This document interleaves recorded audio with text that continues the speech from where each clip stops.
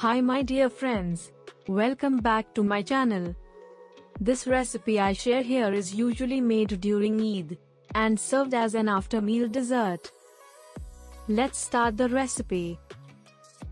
3 tablespoon clarified butter. Add vermicelli.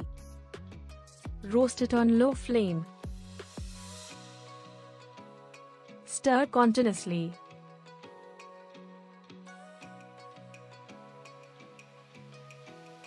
One liter milk. Boil it. Almonds. 2 green cardamom. Add sugar according to your taste. Cook till sugar dissolved.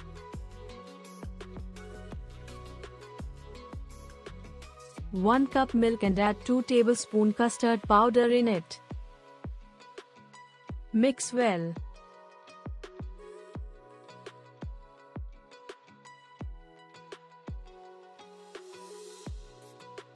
Add roasted vermicelli.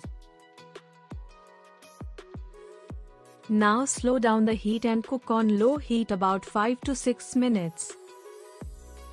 Slowly add custard milk and stir continuously to avoid any lumps.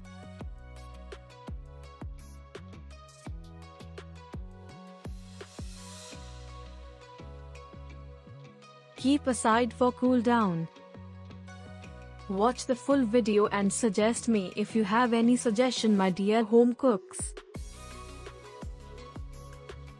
If you want to know how to make gulab jamun the link of the recipe is in the description. Try this recipe and give it feedback how it turns out.